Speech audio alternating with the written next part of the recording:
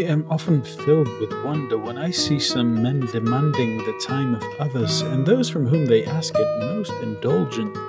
Both of them fix their eyes on the object of the request for time, neither of them on the time itself, just as if what is asked were nothing, what is given nothing. Men trifle with the most precious thing in the world, but they are blind to it because it is an incorporeal thing because it does not come beneath the sight of the eyes, and for this reason it is counted a very cheap thing, nay, of almost no value at all.